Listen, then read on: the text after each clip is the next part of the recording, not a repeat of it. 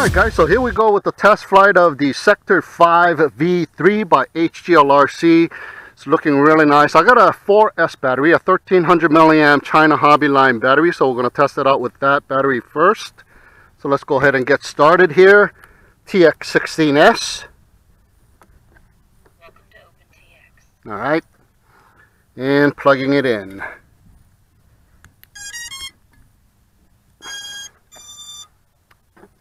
Okay, ready to go. So let's go ahead and check it out. Line of sight with the 4S.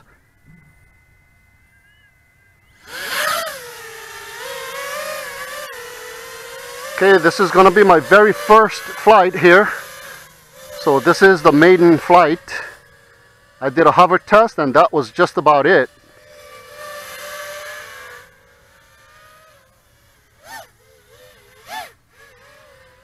Physical position of my throttle position right about 50 to 60 with the 4S.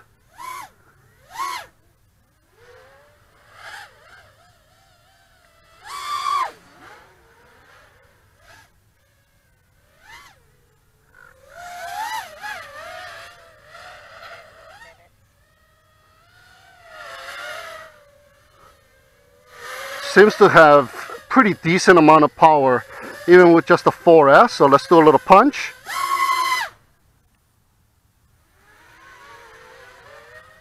Okay, looks very promising because with a 4S, it seems to be pretty decent here. So let's check it out one more time. Full on punch. Yeah, that's good enough. and the tune seems to be very nice. Wow. I think I'm going to be happy flying this thing with just a 4S.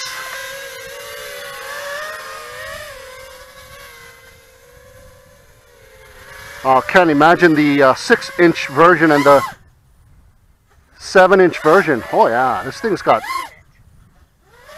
more than enough power guys.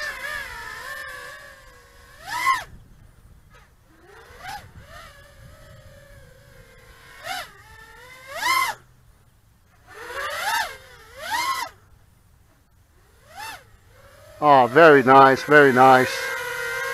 Okay, gonna bring it in for a landing and try it out with some FPV here. There we go.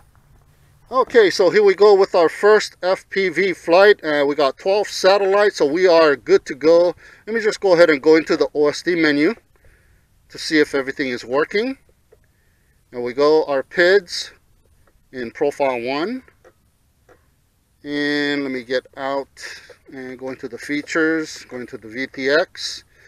And here we go. I got it set to A7 and power set to 200 milliwatts. Alright, so OSD is working fine. Nice. Save and exit. So let's go and check this thing out. Arming. And look at the house for the home direction. There we go our very first FPV flight. So it's got GPS. And so on the left we got the satellite count, we got the home distance, we got the speed, and we got the altitude. And I'm going to circle around myself a few times to make sure that the home direction arrow is pointing at myself. Yep, and it looks like it's doing a good job. Okay, so far very smooth and the Caddx Ratel is looking really nice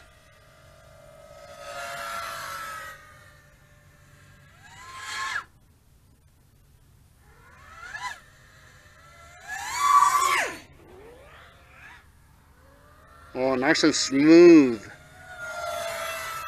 So the tune that it comes with is pretty decent here. Little bit of prop wash, but that's just about nothing at all.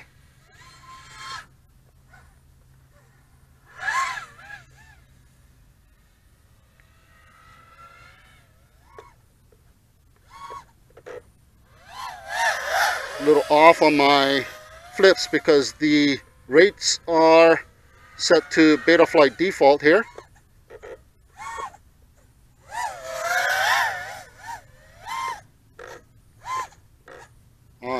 It's nice and locked in.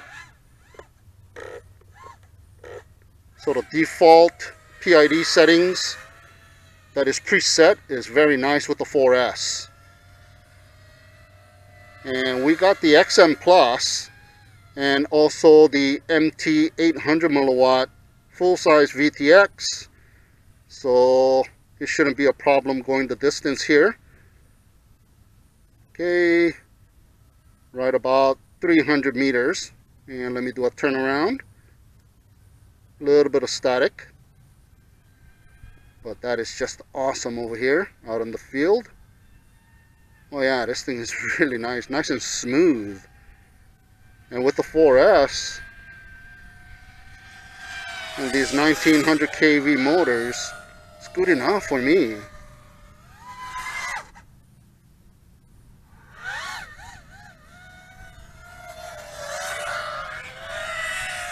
Oh yeah, very nice guys. Very little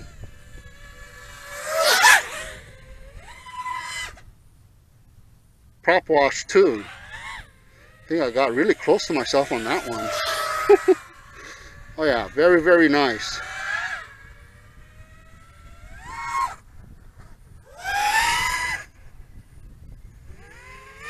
Feels right at home already.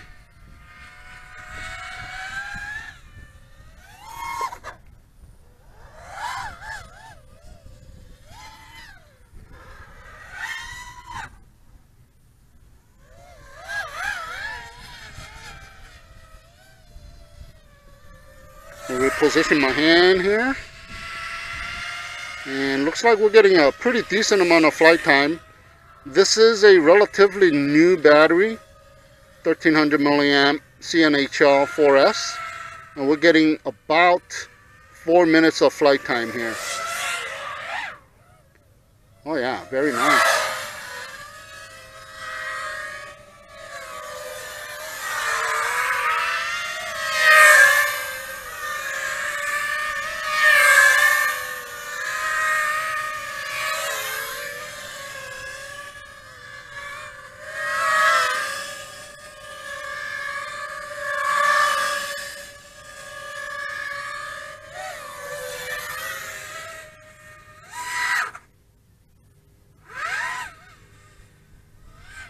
Definitely decent.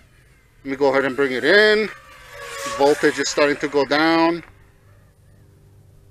So a little over four minutes of flight time with the 4S, 1300 milliamp.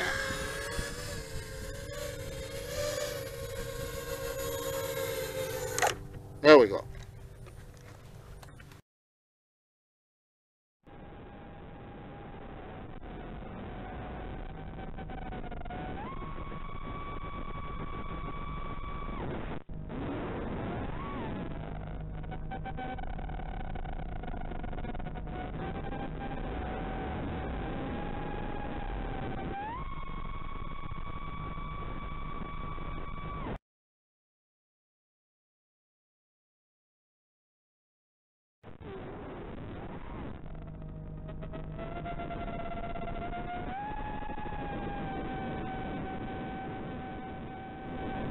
Alright, so here we go with a 5S battery and we got 12 satellites, so we are good to take off. So let's check it out with the 5S.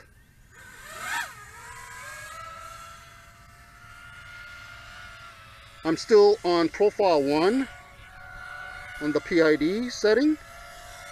So I'm just circling around myself to make sure I'm established at home here.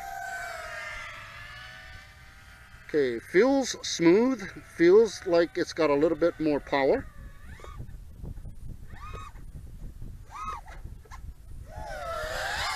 Pretty locked in.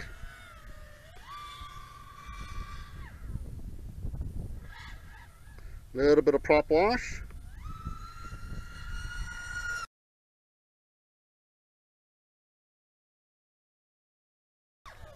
There's a full throttle punch sideways. Uh, definitely tons of hang time versus the 4S uh, so this thing is really nice with a 5S very very nice.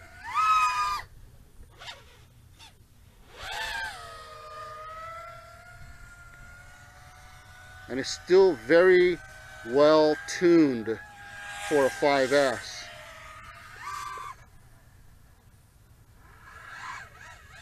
Can feel a little bit of prop wash.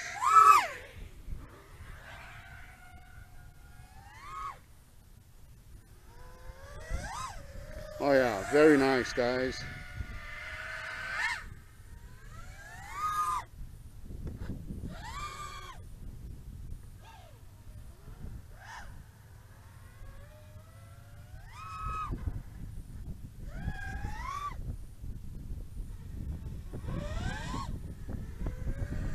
This is really nice. A very nice performer. Let me go away from myself a little bit.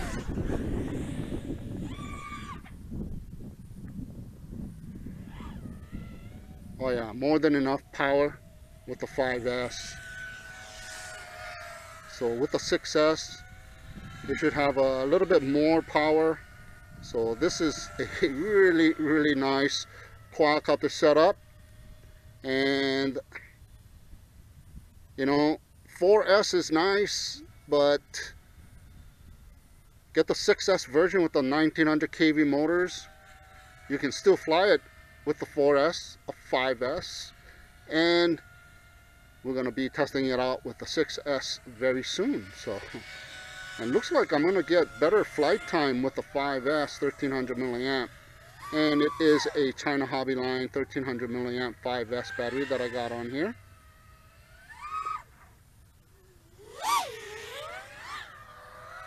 And it's still very smooth. Yeah, not a lot of prop wash. There you go. I'm trying to induce some prop wash.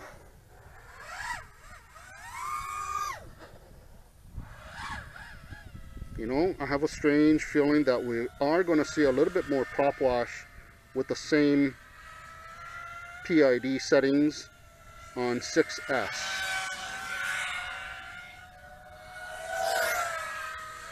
oh this thing is so smooth.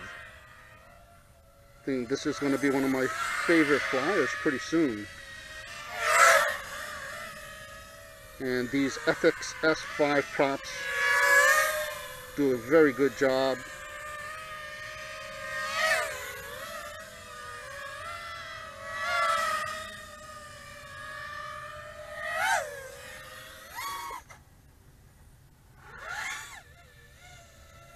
Oh yeah, very nice. Let's go ahead and bring it in for a landing. We're getting about the same amount of flight time here. A little over four minutes. But wow, I'm loving it. Alright guys, so let's go ahead and test it out with a 6S battery this time. I got a China Hobby Line 6S Mini Star 1000 milliamp. So let's go ahead and check it out. Transmitter already on. So let's plug it in to power. The PID setting is still in profile 1. That was preset. So let's test it out with the 6S. Here we go, 6S power.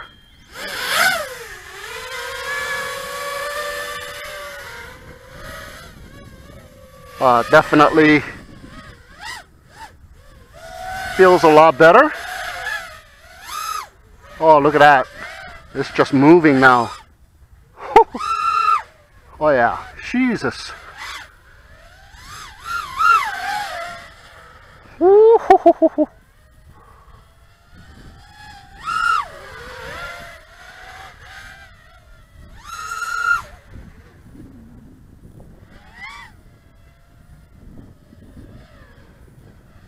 I lost orientation. Woohoo! Let's go ahead and bring it in. oh yeah, this thing is like light as a feather now, basically. Okay, let's do a little punch. Oh yeah, screamer. One more punch. Oh yeah.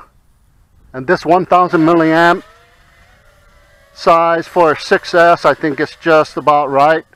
I have another 1300 milliamp 6S and we're going to do the uh, FPV with that one so oh yeah no problem at all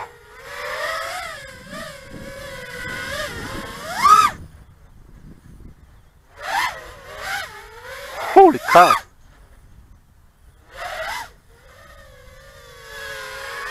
Oh yeah, very nice. Excellent quad. And I don't hear that much prop wash or anything, even with the 6S, with the PIDs that's preset. So very nice. So let's go ahead and bring it in. And FPV. Okay, so here we go with a 6S battery and we got 15 satellites. So let's go and check it out. Oh yeah. Jumps right off the table. Establish home direction. And this one is a 1300 milliamp 6S China Hobby line. Okay, home direction looks good. Oh yeah. Look at that. Here's the uh, 150 meter bush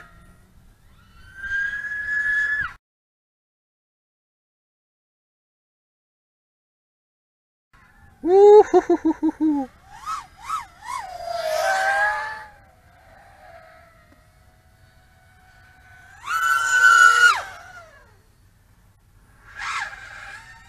Little bit of prop wash.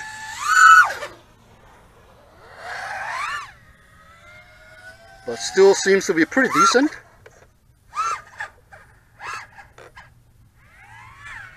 A little off on my flips. It is not my rates, so it's slightly off there.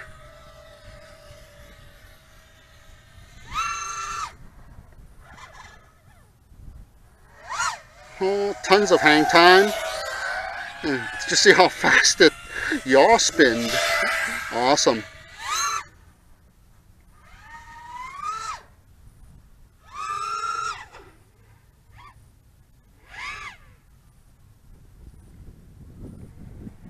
Yeah, what the hell was that? I don't know. but I just had so much hang time, I just stayed up there. Yeah, if you want hang time, boys, uh, 6S is the way to do it. Jesus. And it's still very smooth considering it is the same set PIDs. So you can lower it down just a little bit, but it's doing just fine right here. Oh yeah, this thing is really nice. So you can fly it with the 4S, 5S, 6S. You know, depending on what your mood is.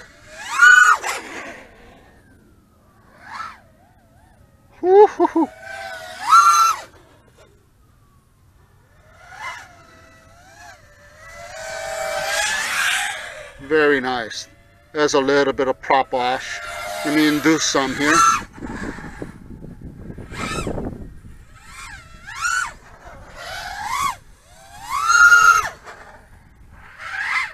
Yeah there's a little bit of prop wash but you can tune that out. Just lower down the values just a little bit and you should be good to go here. But look at a hang time with just one punch.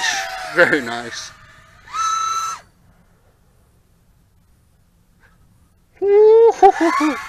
Felt like I was staying up there for eternity Oh yeah, this is nice, guys.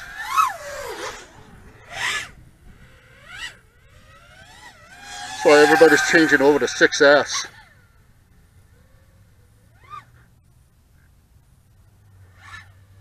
I'm, I'm still liking the 4S. 4S has enough power for me. So even with this quadcopter, I'm probably just going to be flying it with the 4S. Okay, almost four minutes the 1300 milliamp 6S bat. And we still got enough flight time with it. Looks like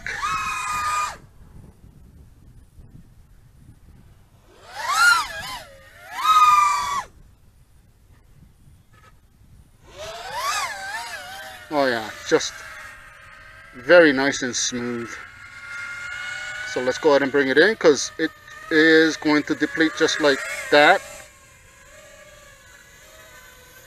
There we go. All right. That is our flight test with a 6s battery. Okay so here we go once again but this time we're going to check out the gps failsafe rescue uh, on a stick as well as actual failsafe rescue. I got 15 satellites so let's get going I have another 4S battery on here, so I'm going to go ahead and circle around myself.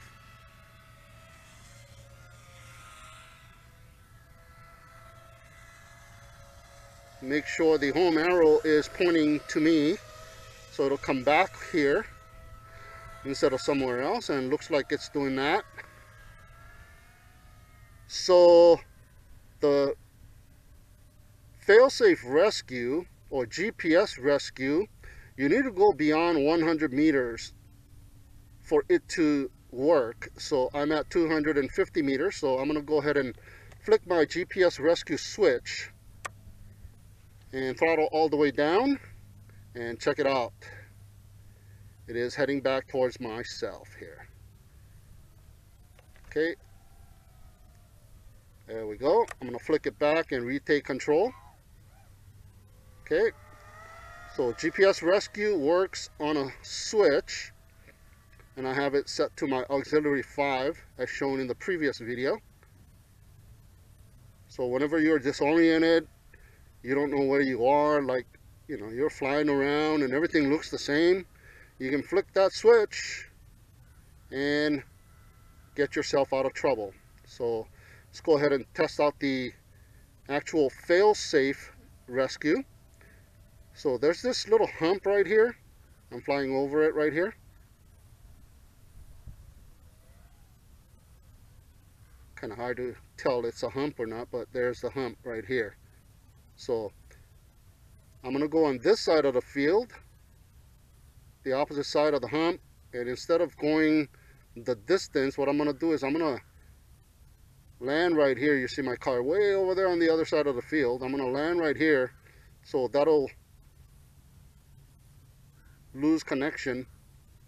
There you go. RX loss and look at that. It is rising up by itself and failsafe has kicked in. I have my throttle all the way down to zero. It's gonna go up to that altitude that is preset in Betaflight and make itself back. So I'm gonna move my sticks and that'll get you out of the failsafe GPS rescue. So this is one of the first ones or one of the few quadcopters, freestyle quadcopters that come with a GPS module already built into the quadcopter right out of the box. So all you got to do is turn it on and activate it in Betaflight and you got yourself a GPS quad so you can fly anywhere you want and once you get disconnected you get a fail safe the GPS rescue will kick in and bring you back but don't be flying under trees and obstacles because it doesn't avoid those kind of stuff. So you're to have to retake control right away. Alright guys, so I think that'll do it for this video of the HGLRC Sector 5 V3. I'm going to go ahead and bring it in for a landing here. So if you want to check out this Sector 5 V3 for yourself. Link is down below. And I do believe the 6 inch and the 7 inch versions are not out yet. I don't know if they'll be out as a bind and fly unit, but the frames are available. So you want to build your own, you can build your own, or you can buy the bind and fly sector 5